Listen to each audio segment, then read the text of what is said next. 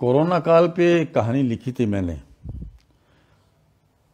मेरा ख्याल है कोरोना काल में कोरोना काल की कहानी सुनानी चाहिए। और ये लॉकडाउन लगा था, शायद तेईस, बाईस, तेईस को लगा था, मार्च को।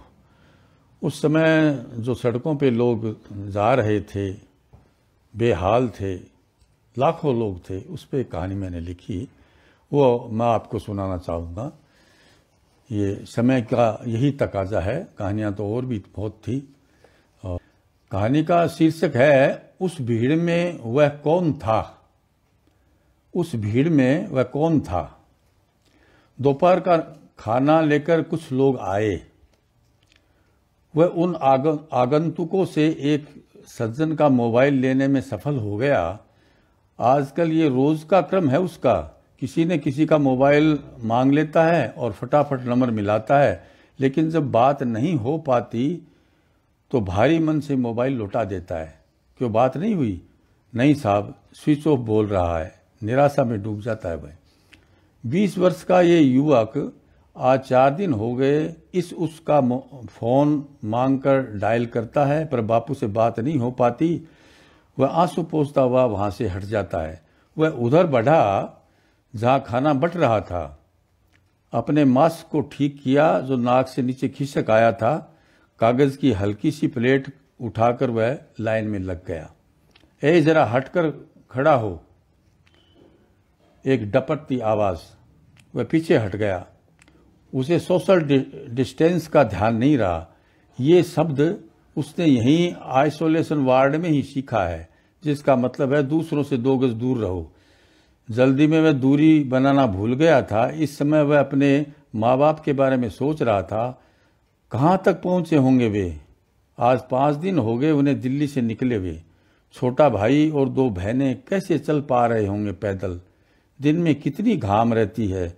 ये कैसी आफत आई हम गरीबों पर? वह यहाँ ऋषिकेश में है और वे तपती सड़कों पर। अरे ठीक से पकड़ प्लेट को बकलोल कहीं के सामने से झिड़की आई। उसने जल्दी से कागज़ की प्लेट को दोनों हाथों में थाम लिया। एक बड़ा कुड़छा भर चावल प्लेट में गिरा। आगे बढ़ते ही एक बड़ा चम्मच दाल बगल वाले ने चावलों पर उड़ेल दी। ये सस्ती कागज़ की प्लेटें लिप लिप करती हैं, इसलिए सचेत होकर खाना लेना पड़ता है। कल उससे लापरवाही हो गई थी। आधा चावल दाल नीचे गिर गया। खिल्ली भी उड़ी और ऊपर से बाबू लोगों की डांट भी सुननी पड़ी। बिखेर दिया ना, ठीक से पकड़ने का भी होश नहीं। यहाँ नाश्ता और दोनों समय का भोजन अलग अलग तीन संस्थाएँ भिजवाती हैं, पर खाना बांटने वाले हद से ज़्यादा रोब गांठते हैं। उसे रोटी चावल देखकर भूख लग लग लग आती है, वरना भूख कहाँ लगती है उसे? वह तो वक्त की ऐसी चक्री में फंसा है, जो बिना रुके घूम रही है। दिन के बाद रात और रात के बाद दिन, तारीख कौन सी है मालूम नहीं। आज तक, आज एक हफ़्ता हो गया उसे इस स्कूल रूपी जेल में। चार दर, चार दीवारी से घिरी ये चार कमरों वाली स्कूल जेल ही तो है, एक खुली जेल। कोई बाहर नहीं जा सकता, गेट पर दिन रात दो सिपाही सिपाहियों का पैरा रहता है। दिन में दस तरह के आदमी आते हैं, चपरासी से लेकर तहसीलदार तक। खाम खा के पूछताछ कर, पूछताछ करते हैं, कहाँ के हो? यहाँ क्यों आए? कौन जान, कहाँ जाना है? क्या काम करते थे? हर दूसरे दिन डॉक्टर आकर सबको चेक करता है। खांसी, जुकाम, बुखार और कुछ कुछ नेता जैसे लोग साथ में टीवी वालों को लेकर आते हैं। माइक में क्या बोलना है, ये पहले से बता देते हैं। व्यवस्था ठीक है, खाना समय से मिलता है, कोई परेशानी नहीं। तफरी के लिए कुछ समाज सेवक भी आते हैं। वे धमकाने के लहजे में हिदायतें देते हैं, हिदायतों की बौछार सी करते हैं। मास्क हर वक्त लगाना, होना दूर हटकर रहो, दो गज दूर, सोशल डिस्टेंस, एक साथ मत बैठो, दिन में कई बार साबुन से हाथ धो। साहब, हमें कुछ नहीं हुआ है, हमें दिल्ली भेज दो। चुप, ज़्यादा होशियार मत बन। एक युवक सहम गया। ये वाक्य उस दिन का है जब जाँच के लिए तहसीलदार आया था। यहाँ जितने भी मजदूर थे, किसी को भी ये खबर नहीं थी कि उन्हें इस तरह ऋषिकेश में रोक लिया जाएगा। वो अपने मजदूर साथियों के साथ नौ दिन पहले रुद्रप्रयाग से यहाँ आया था। वे सभी थे तो यूपी बिहार के, पर सभी को दिल्ली जाना था। दिल्ली में उनका परिवार है। वे दिल्ली से ही रुद्रप्रयाग गए थे। वे दिल्ली में जिस ठेकेदार के यहाँ काम करते थे, उसी ठेकेदार को रुद्रप्रयाग में काम मिल गया था। सो वह ठेकेदार उन्हें इधर ले आया। वे बस द्वारा रुद्रप्रयाग से ऋषिकेश पहुँचे। बस से उतरते ही सीधे स्टेशन की ओर लपके। उत्साह से भरे हुए कि जल्दी से जल्दी दिल्ली पहुँचे। लेकिन जब वे स्टेशन पहुँचे तो सारा उत्साह ठंडा पड़ गया। मालूम हुआ कि यहाँ से कोई गाड़ी नहीं जाएगी। क्यों? क्योंकि लॉकडाउन लग चुका है। स्टेशन पर, पहले से पचासों मुसाफिर बैठे थे। हर कोई यहाँ व्यग्र था। एक दूसरे से ही पूछ रहे थे, का हो? ये रेलवा काहे बंद है पूछताछ खिड़की बंद थी। एक रोला सा मचा था स्टेशन पर कुछ लोग स्टेशन मास्टर के दफ्तर में घुस गए और लगे गाड़ी की दरियाफत करने। पूर्विया लोग ऊँची आवाज़ में बोल रहे थे, अरे, कोई गाड़ी नहीं है, बाहर निकलो बाहर निकलो। नहीं है, मैंने कह दिया न पूरे पूरे देश में लॉकडाउन लग गया है, चलो निकलो यहाँ से। कोई दूसरा साधन देखो, चलो निकलो यहाँ से। हा, हुज्जत कर सब थक गए। कुछ लोग बता रहे थे कि बस भी बंद है। वे बस अड्डे से ही आ रहे हैं। अब न रेल है, न बस। ए भैया, ये लॉकडाउन का होता है? मतलब रेल, बस और सब साधन बंद होल इंडिया में, इसी को लॉकडाउन कहते हैं। भीड़ में औरत और बच्चे भी थे, अच्छे फंसे, बेचैनी, व्यग्रता, खीज और बेबसी। आखिर किया क्या जाए? किसी के पास कोई जवाब नहीं। स्टेशन पर भीड़ कम होने की बजाय बढ़ रही थी। आने वाले आ तो रहे थे, पर जाने का कोई रास्ता नहीं था। कोई चक्कर लगा रहा था, कोई अपने बैग पर बैठा था कोई स्टेशन के बाहर चाय का जुगाड़ ढूंढ रहा था। बाहर न तो दुकानें खुली थी, न ढाबे। केवल पीने का पानी था रेलवे के नलों में। वह भी शाम तक चुक गया। दिन भर के भूखे प्यासे बिलबिलाने लगे। जिनके साथ बच्चे थे, वे महादुखी थे। बिना खाने के बच्चे रो रहे थे। उनके माँ बाप उन्हें झूठी तसल दिलासा दे रहे थे। स्टेशन मास्टर ने अपने दफ्तर पर ताला लटका दिया। कमरे के सामने बेंच पर दो पैटवान बैठे थे। ये जानते हुए कि, हुए भी कि वे कुछ नहीं कर सकते, फिर भी लोग उनसे दरियाफत कर रहे थे। भैया, बताओ ना, गाड़ी कब जा मिलेगी? उनका जवाब वही था, कह तो दिया, सब बंद है, जाओ, कोई और साधन देखो। अपने साथियों के साथ वो पूरी रात प्लेटफार्म पर पड़ा रहा। सबने बैगों से निकाल कर अपने अपने खेस ओढ़ लिए। देर रात नींद के असर ने कुछ को दबोचा। ये भूख भरी नींद थी जो डील टूटने के बाद आती है। सुबह वही सन्नाटा, कोई गाड़ी नहीं, कोई बस नहीं। स्टेशन के बाहर ऐसा लग रहा था जैसे ये बस्ती उजड़ गई है। जो यहाँ थे, वे कहीं चले गए हैं। तभी किसी ने कहा, स्टेशन पर पानी आ गया है। सभी उसी ओर दौड़े। चार टोटियाँ थी चारों पर मधुमक्खियों की तरह। मधुमक्खियों के छत्तों की माने नलों के इर्द गिर्द जुट गए। मशक्कत कर उसने भी पानी पिया। खाली पेट में पानी रेंगता महसूस हुआ। पेट में हल्की एंठन सी हुई। कुछ खाया नहीं तो यही होगा। सुबह मुँह अंधेरे ही लोग रेल लाइनों के इर्द गिर्द निपटान कर आए थे। इससे अब स्टेशन गंधा रहा था। इस बदबू के साथ साथ प्लेटफार्म पर यहाँ से वहाँ तक छोटे बच्चों की करुण आवाज़ें इस स्टेशन को यातना शिविर सा बना रही थी। अचानक स्टेशन के प्रवेश हाल में लाठियों की ठक ठक के साथ ऊँची आवाज़ें आई। ये पुलिस का जाब्ता था, जो स्टेशन खाली करने के की ताकीद कर रहा था। सिपाही अंदर आए और उन्होंने थोड़ी देर में स्टेशन खाली करवा लिया। बाहर बड़ी तादाद में घेरा डाले जवान खड़े थे, जिनमें महिला पुलिस भी थी। सब सख्ते में आ गए। ये क्या माजरा है? सबसे पहले महिला पुलिस ने औरतों और बच्चों को एक तरफ़ छांट कर खड़ा कर लिया। अपने आदमियों से अलग कर दिए जाने से उनमें चिलम्पो मच गई, चिलपो मच गई। इधर बाकी बचे मर्दों को सिपाहियों ने दो भागों में बांट दिया। इस अचानक हुई छंटनी से कुछ के साथी इधर उधर हो गए। आपस में पुकारते रहे, पर पुलिस के डंडे के डर से हिल नहीं सके। औरतें तो बिछड़ी ही, मर्द भी आपस में बिछड़ गए। वह जिस समूह में था, उसमें कुल साठ जने थे। इन सबको पैदल मार्च करते हुए गंगा किनारे के इस स्कूल में लाकर बंद कर दिया। सब चुपचाप लेकिन घबराए हुए, न जाने पुलिस क्या करेगी। लेकिन जब सबके लिए खाना आया, तब मालूम हुआ कि इनको कोरोना बीमारी के कारण कैद, हमको कोरोना बीमारी के कारण कैद किया गया है। यहाँ खाने के बाद सबको मास्क दिए गए और सख्त हिदायत दी गई कि इसे हर वक्त मुँह पर लगाए रखना है। यहाँ आकर समय पर यहाँ आकर समय पर चाय, नाश्ता और दोनों वक्त का खाना मिलने से उसे अच्छा लगा। सोचा, खाना मिल रहा है। रहने को स्कूल के कमरे हैं, ओढ़ने को कंबल है। गरीब आदमी को और क्या चाहिए? हाँ बंदी से ज़रूर थी, कोई बाहर नहीं जा सकता। हर समय गेट पर दो सिपाही का पैरा। उसने अगले दिन बापू को फ़ोन लगाया। फ़ोन लगते ही बापू ने कहा बचवा तुम कहाँ हो? हम ऋषिकेश में बोले रहे थे हम इधर आई गई हम यहाँ दिल्ली जाने को आई गई परंतु यहाँ सब बंद पड़ा रही रेलवा बस बा सब बंद बा। अरे बचवा इधर भी सब बंद हो गई हो गई हो, हो गई बा। हम तो यहाँ से जात है। कहाँ? घर को। देवरिया को। गाड़ी चल रही है उधर। नहीं बचवा हम तो पैदल ही जात रहे। अब दिल्ली से निकल रहे हैं। पैदल। हाँ बचवा इधर सब अंड मंड हो गया हो गई बा। दिल्ली में कोरोना बा फैल गई बा गई बा। बापू ने आगे बताया कि पुलिस उन्हें पुल के नीचे, पुल के नीचे नहीं रहने दे रही। सबको पुलिया से नीचे से भगा दिया है। क्या करते? दिल्ली में हमारा कोई ठोर नहीं। काम धंधा सब बंद हो गया। ठेला लाला को लौटा दिया। ठेला लगाने ही नहीं देते। दिल्ली में तो मौत नाच रही है। इसलिए हम सब पैदल ही देवरिया के लिए निकल गए हैं। तुम्हारी मैया और तीनों बच्चे। जब उसने पूछा कि यूँ पैदल कब तक देवरिया बापू बोला कभी न कभी तो पहुँच ही जाएँगे। दिल्ली से तो अच्छा है, घर जाकर मरें। यहाँ पर रहने से तो मिट्टी खराब होगी। देवरिया में इज़्ज़त का मौत तो मरेंगे। उधर अपना घर है, भाई बिरादर है। दिल्ली में कौन है हमारा? वह मोबाइल पर ही रो पड़ा। उसके बापू ने ढाढ़स बंधाया। जब उसने अपने हालचाल में बताया कि हम सबको यहाँ एक स्कूल में रोक रखा है, सरकार खाना दे रही है तो बापू ने कहा, तुम उधर ही बने रहो।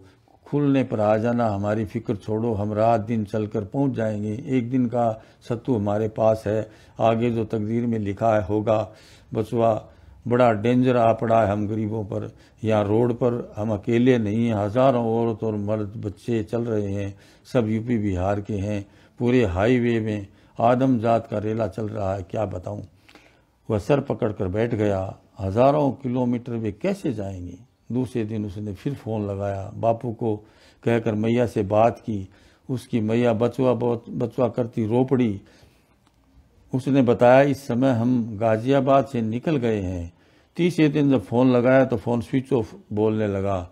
उसने कई बार डायल किया, पर वही स्विच ऑफ़। वह समझ गया, बापू का फ़ोन चार्ज नहीं है। अब रास्ते में कैसे चार्ज करवाएँगे? कौन बैठा है वहाँ चार्ज करने वाला? सुना है हाईवे पर होटल ढाबे भी बंद हैं। वे लोग हाईवे पर क्या खाएँगे? दूसरी तरफ़ उसके मोबाइल में भी पैसा खत्म हो गया। उसने आने वाले बाबू लोगों से फ़ोन रिचार्ज करवाने देने की विनती की। कहा, मेरे पास पैसा है, आप करवा दें। पर उसकी बात पर किसी ने ध्यान नहीं दिया। हाँ एक आदमी ने ये ज़रूर कहा कि मैं चार्ज करने वाले को यहाँ भेज दूँगा। सब लोग करवा लेना, पर कोई नहीं आया। अब रोज़ किसी न किसी का फ़ोन माँगता और बापू को लगाता। वह जवाब नहीं जवाब वही स्विच ऑफ़ वाला आता, सोचता, अब तक वे कहाँ पहुँचे होंगे? माई और छोटे भाई बहन क्या खाते होंगे? दिन में कितनी धूप रहती होगी? डामर की गर्म सड़क पर कैसे चलते होंगे?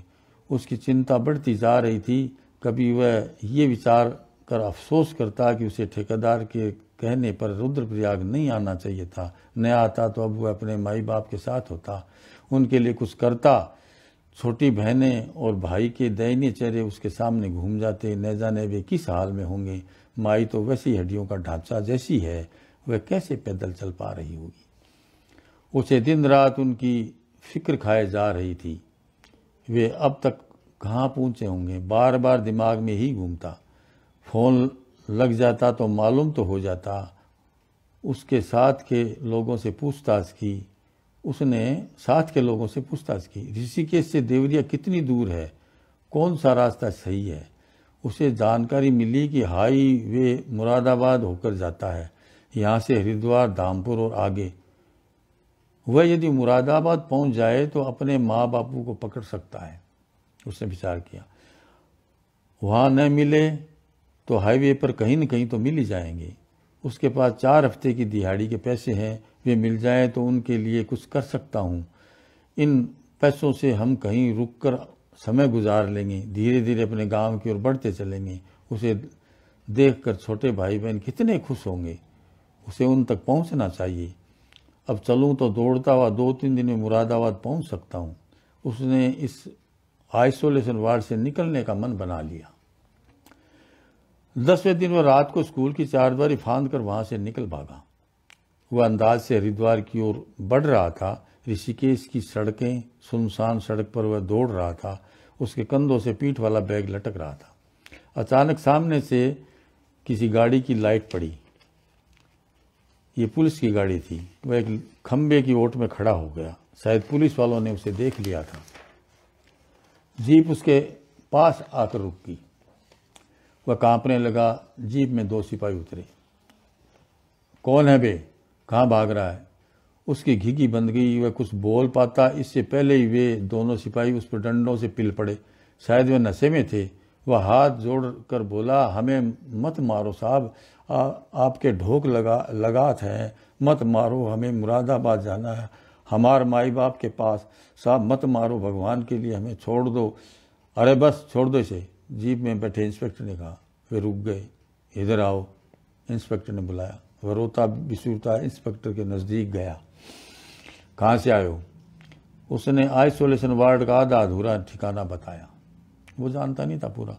जहाँ से वह भागा था, इंस्पेक्टर समझ गया। उसने उसे जीप में बैठने को कहा। जीप चली और थोड़ी देर बाद उसी स्कूल के गेट के सामने जाकर रुकी। ऊँगते सिपाही हड़बड़ा कर उठे। इंस्पेक्टर को देखकर उन्होंने सैल्यूट मारी। ड्यूटी कर रहे हो या सो रहे हो? Duty, sir. तुम्हारे वार्ड का आदमी पकड़ कर लाए हम। देखो, उसे जीप से उतार कर दोनों के सामने किया। इसे अंदर करो। सिपाहियों ने गेट खोलकर उसकी गर्दन पकड़ी और अंदर धकेला। मारपीट मत करना इसके साथ, इंस्पेक्टर ने कहा और जीप में बैठ गया। ऋषिकेश में कर्फ्यू नहीं था, पर लोग लॉकडाउन के चलते सब बंद था। यहाँ से होने वाली तीर्थ यात्राएँ बंद थी। बीच रास्ते सड़क पर पकड़े जाने से वह दुखी हो गया। न पकड़ा जाता तो ऋषिकेश से निकल गया होता। अब क्या करे? कैसे निकले यहाँ से? उसके लिए एक एक पल भारी हुआ जाता था। कैसे पहुंचूं उन तक? माँ बाप तक। इस गर्मी में कैसे चल पा रहे होंगे वे? उन्हें रोकना होगा। रात में नहीं, उसे दिन में निकलना चाहिए। जहाँ तक उसने जानकारी ली, दिन में पुलिस वालों की नज़र से बच सकता है। अपने दो साथियों से उसकी बात होती थी। उन्होंने उसे जाने से मना किया, अरे, बहुत लंबा रास्ता है, क्या करोगे? तुम कैसे पहुँच पाओगे उन तक? उसने कहा, तुम्हारे माँ बाप तो नजफगढ़ में हैं, बैठे हैं। तुम्हें क्या फ़िक्र है? मेरे माँ बाप दर दर बदर हो रहे हैं। मैं यहाँ नहीं रुक सकता। मैं उनके पास जाऊँगा, चाहे कितनी ही दूर हो। दूसरे दिन सिपाहियों की नज़र बचाकर वह दोपहर को दीवार फांद कर निकल भागा। उस समय वार्ड के स्त्री सन्नी, वार्ड के सभी लोग खाना खाकर कमरों में आराम कर रहे थे। शहर की सड़कों पर उसे इक्का दुक्का आदमी मिला, बंद दुकानों का सूना बाज़ार। वह धीरे धीरे आगे बढ़ता गया। आगे एक व्यक्ति मिला। उसने उससे हरिद्वार का रास्ता पूछा। उसने रास्ता बता दिया, पूछा, कैसे आओगे? कैसे जाओगे? पूछा, कैसे जाओगे? पैदल। पैदल, इतनी दूर। हाँ बाबूजी मैं मुझे मुरादाबाद मुरादाबाद जाना है। मुरादाबाद? तुम्हें मालूम है मुरादाबाद यहाँ से यार ढाई तीन सौ किलोमीटर है। जो भी है, उसने कहा और चल पड़ा। वह जल्दी जल्दी कदम बढ़ा रहा था। पुलिस से बचने के लिए उसे गलियों से होकर निकलना पड़ा। वह किसी तरह सिके से बाहर आ गया। आगे सड़क पर संयोग से उसे एक चारे का ट्रक मिल गया। ट्रक वाले ने दो सौ रुपये लेकर उसे हरिद्वार छोड़ दिया। हरिद्वार में जिस चौरा चौरास्ते पर उस ट्रक वाले ने उसे उतारा, वहाँ उसे कुछ और मजदूर मिल गए। जो धामपुर जा रहे थे, वे पाँच जने थे। दो के सिर पर गोल टोपी थी, जो मुसलमान थे। तीन के सिर पर गम से बंधे थे, वे हिंदू थे। हिंदू या मुसलमान, इस समय सबकी एक ही जाति थी, वह थी मजलूम। उनकी पीठ पर या तो बैग था या हाथ में थैला। वे हरिद्वार के एक लकड़ी की खड़ाऊ बनाने वाले कारखाने से आए थे। दुआ सलाम कर वह उनके साथ हो लिया। मुरादाबाद मुरादाबाद तो धामपुर से भी काफ़ी दूर है, एक टोपी वाले ने कहा। कुछ भी हो भाई, मेरे माँ बाप और तीन भाई बहन दिल्ली से पैदल निकले हुए हैं। हमें देवरिया जाना है। मैं मुरादाबाद के हाईवे पर उन तक पहुँचना चाहता हूँ। वे कहीं न कहीं तो मिल ही जाएँगे। यार, बहुत लंबा रास्ता है तुम्हारा। सिर पर चिल, चिलचिलाती धूप और पैरों तले गर्म सड़क, उसके पैरे जूतों में जलने लगे। उन पाँचों के पैरों में चप्पलें थी। जूता हो या चप्पल, सब गर्म हो रहे थे। चलते चलते वे थोड़ा बोल लेते थे। ज़्यादातर शब्द आहों से लबरेज, दुखों का इजहार करते या व्यवस्था को गाली देते।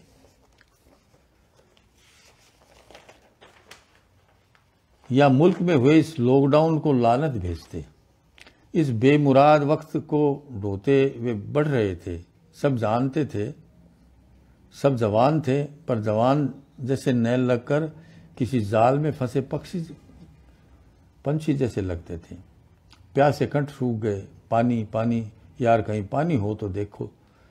सड़क के दोनों ओर ऊँचे दरख्त, सफ़ेद शेमल सफ़ेदे शेमल और शीशम के।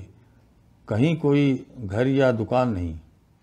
अंत में खे, खेत में इंजन से पंप चलता नज़र आया। झाड़ झंखाड़ पार कर खेत के अंदर गए। पंप के चलते नाले से ओक बनाकर पानी पिया। दो साथियों के पास खाली बोतलें थी। आगे के लिए भी, भी भर ली। चलते चलते रात उतर आई। अंधेरे में ही चल रहे थे। झिंगुरों की आवाज़ें सन्नाटे में सूनापन गूंथ रही थी। अंधेरे पक्ष की रात में चाँद का कहीं पता नहीं था। चलते चलते कहीं दूर रोशनी के टिमकले दिखाई दिए शायद कोई गाँव है। जब वे वहाँ पहुँचे तो देखा एक छोटा सा गाँव है। सड़क के दोनों ओर कुछ पक्की दुकानें, कुछ खोखे और दो ढाबे, लेकिन सब बंद। दो दुकानों पर दो लट्टू जल रहे थे। इस छोटे से बाज़ार में सन्नाटा पसरा हुआ था। कुछ लोग दुकानों के सामने पक्के फर्श पर सो रहे थे, जिनमें कुछ स्त्रियाँ भी थी। स्त्रियों को देखकर उसे अपनी माँ की याद आ गई। वह भी इस समय वहीं सड़क पर सो रही होगी। मन पर उदासी फिर घिर आई। सुबह जल्दी आँखें खुल गई। कल कुछ खाया नहीं था, सो नींद आधी अधूरी आई। दिशा मैदान जाने की हलचल शुरू हो गई। ढाबे पर लगे हैंडपंप से पानी लिया जाने लगा। डब्बे, बोतलें ढूंढी जा रही थी। चलना शुरू किया तो लगा पाँव की पगथली गायब है और पैर के पंजों की हड्डियाँ जूते में चुभ रही हैं। ओह, एक बार की लगा, चली नहीं, चला नहीं जाएगा। दर्द सहन कर थोड़ा चला धीरे धीरे चलने से राहत मिली, पगथली वापस आ गई थी। वे अब छः से बढ़कर बीस पच्चीस हो गए थे। आदमी, औरत, बच्चे, एक कारवां सा बन गया। मैया बाबू अब तक कहाँ पहुँचे होंगे? वह साथ में, साथ वालों से मुरादाबाद की दूरी पूछ रहा था। कितना समय लगेगा? कोई साधन मिल जाता तो जल्दी पहुँच जाता, लेकिन इस सड़क पर कोई साधन नहीं मिला। चलते चलते दोपहर हो गई। मारे गर्मी के सब पस्त हो गए। सड़क किनारे पेड़ों की छाव में पड़े रहे। ऐसी गर्मी में क्या हालत हो रही होगी उसके भाई बहनों की? चलना मजबूरी था, थोड़ा आराम कर सब चल पड़े। शाम को एक गाँव आया। भूख से सभी बेहाल। बच्चे भूख से बिलबिलाने लगे। आखिर रोटी मांगने गाँव में जाना पड़ा। दर दर की ठोकरें इसे ही कहते हैं। मांगते मांगते चेहरों की आ, आब धुप गई। इस घर नहीं तो उस घर। आखिर कुछ न कुछ खाने को मिल गया। ज़िंदगी में पहली बार रोटी का महत्व समझ में आया। अंधेरा घिराया था, सो वहीं सड़क के किनारे सो गए। इस गाँव से चलने के बाद आगे सड़क चौड़ी मिली। इस सड़क पर भी कोई ट्रक नहीं गुजरा। सुबह के बाद जो ही सूरज ऊपर आता है, तपन बढ़ जाती है, डामर की सड़क पर चलते चलते जूते चप्पलों की हालत खराब हो रही थी। उसका कैनवास का जूता फट गया था। कईयों की चप्पल, चप्पलें टूट गई थी। रस्सी सूतली ढूंढ कर बांधी जा रही थी। जब बच्चे रोते तो उसे अपने भाई बहन याद आ जाते, वे भी भूखे होंगे। वह मरते मरते मरते पड़ते हुए तीसरे दिन धाम पर पहुँचा। यहाँ एक मस्जिद के बाहर खाना बट रहा था।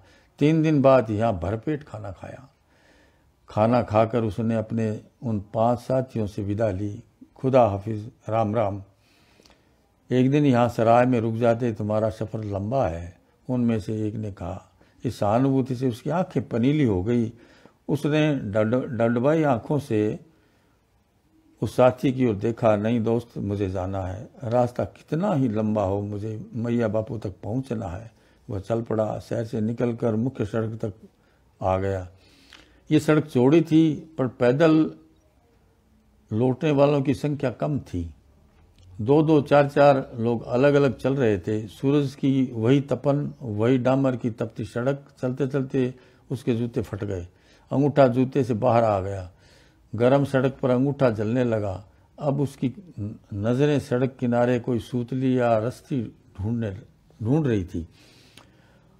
आखिर एक रस्सी का टुकड़ा उसे मिल मिल गया। पेड़ की छाया में बैठकर उसने अपने पैर जूतों से बाहर निकाले। अपने, वह अपने पैरों को देखता रह गया। ये उसके पैर हैं। उधड़ी हुई चमड़ी फपोलों से गिजगिजे हुए लल सोए पैर। पीठ पर बैग से गमछा निकाला। आहिस्ता आहिस्ता पैरों को पहुँचा ओह, टीस मार रहे थे। हवा से थोड़ा सूखे तो उसने पैरों को जूतों के हवाले किया। फिर दोनों को रस्सी से बांधा और चल पड़ा। कहीं भी ठहर कर जब चलता है तो पैरों के पंजे सुबह पर बड़ा दर्द करने लगते हैं। चलते चलते रात हो गई। रास्ते में गाँव आया था जो पीछे रह गया। चलना मुश्किल हो हो गया तो सड़क किनारे ही सो गया। सुबह उठकर फिर चल पड़ा, कोई साधन नहीं मिला। वह उसे मुराबाद मुरादाबाद, ऐसा साधन तो उसे मुरादाबाद पहुँचा है शायद मैया बापू मुरादाबाद के आसपास पहुँच ही गए होंगे। उसे जल्दी से जल्दी उन तक पहुँचना है। उसके पास जो रकम है, उससे वह उनको कहीं रोक कर आराम कराएगा। इस तरह सड़क पर भूखे प्यासे नहीं चलने देगा। वह दिन भर चलता रहा। पहली बार उसकी नज़र एक माइल स्टोन पर पड़ी लिखा था मुरादाबाद 125 किलोमीटर। शाम हो गई थी, पर वह नहीं रुका। दूसरे पैदल चलने वाले रास्ते में रुक गए थे, वह नहीं रुका। उसे ये दूरी जल्दी से जल्दी पार करनी है। वह रात भर चलता रहा। न जाने बिना कुछ खाए, पिए, इतनी शक्ति उसमें कहाँ से आ गई थी। सुबह हुई तो एक बंद ढाबे की होश से केवल एक डोलची पानी पिया। और चल पड़ा। इस सड़क पर माइल स्टोन क्रम से नहीं लगे थे। कभी गाड़े गए होंगे जो समय पाकर खुर्द बुर्द हो गए होंगे। वह जानना चाहता था कि मुरादाबाद कितनी दूर है। किसी से पूछा भी तो सही नहीं बताया। होगा यही कोई साठ सत्तर किलोमीटर। दिन के बारह बज गए। यहाँ एक माइल स्टोन मिला। लिखा था मुरादाबाद पचास किलोमीटर। तो फिर शाम तक पहुँच जाऊँगा। उसने मन ही मन संकल्प किया, वह जल्दी जल्दी चलने लगा। दो दिन से कुछ खाया नहीं था, चिलकती धूप में गला सूख रहा था। पानी पानी कहीं आसपास नहीं था। चलते चलते उसे चक्कर आने लगे। वह सड़क पर बैठ गया। बैठा तो निढाल और सड़क पर पसर गया और अंत में वह बेहोश हो गया। सड़क पर गुजरने वाला कोई भी उसके नज़दीक नहीं आया, गया। न न छूना मत कोरोना हो सकता है। सब दूर से चले गए, देख के उसे। वह पड़ा रहा धूप में। लोग गुजर रहे थे। उसकी सुध लेने वाला वहाँ कौन था? जो थे, वे भी किस्मत के मारे हाईवे पर अपनी लाश को ढो रहे थे। वह दिन भर सड़क पर धूप में पड़ा रहा सीखता रहा। दिन ढल रहा था। उसकी आत्मा ने शायद आवाज़ लगाई होगी, मुझे पानी पिला दो कोई। मुझे मेरी मैया बापू और भाई के पास जाना है, लेकिन मृतलोक के जीव उस आत्मा की आवाज़ कैसे सुनते? आत्मा तो चली गई शरीर शरीर पड़ा रह गया था। ये कहानी है। आपको कैसी लगी? तो मैं देखूँगा। आप जिन्होंने सुनी है, उन्हें बहुत बहुत धन्यवाद।